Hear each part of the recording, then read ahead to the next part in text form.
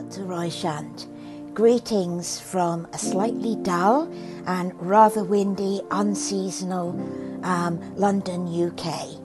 Um, it's my pleasure and my great honour to wish you a happy milestone birthday.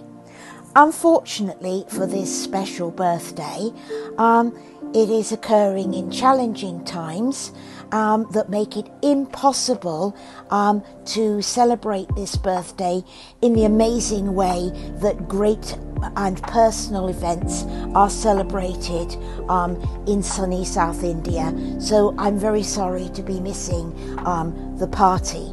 But let us at least be grateful for the power of technology even if unfortunately my selfie filming video skills leave a little bit to be desired. It is, after all, Dr. Roychand, the thought that counts.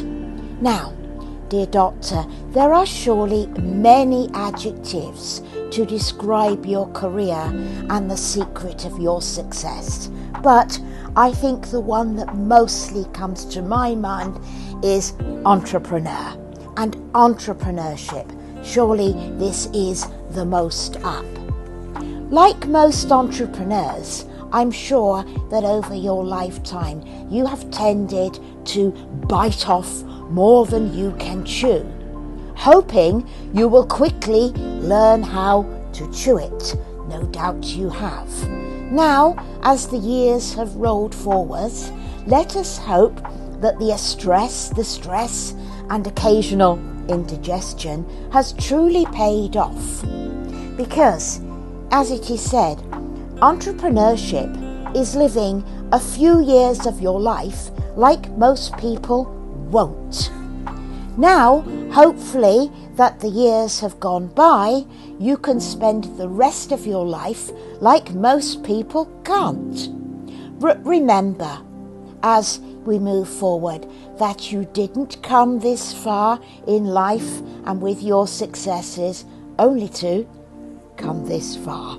So I hope you will carry on and achieve further, further milestones and successes. I wish you all the best.